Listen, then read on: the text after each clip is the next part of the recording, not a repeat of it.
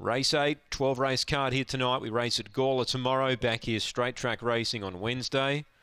Got the Shane McQueen final here on Thursday night. All in, set to run. 165 Silent Jacko, they're ready.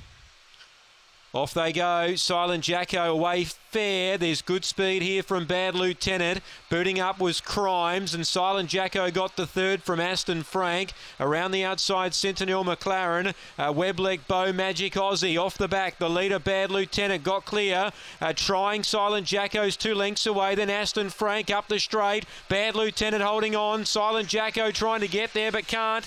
Bad Lieutenant, Silent Jacko second. Crimes third, Sentinel McLaren fourth, Aston Frank fifth, uh, then Webleg Bow, and last in Magic Aussie.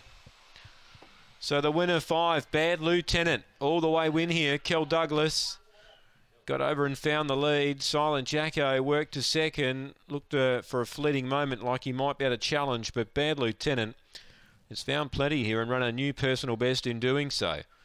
Silent Jacko, the favourite second, and Crimes will get third ahead of the fast finishing Sentinel McLaren. One by three and a quarter. Five six one four the placings. Five six one four. Three seventy one the early sectional. Sixteen sixty six. I should say sixteen sixty two. That last sectional, 25 and 55 the run. 5 6 1 4. Favourite gets rolled here after race number 8.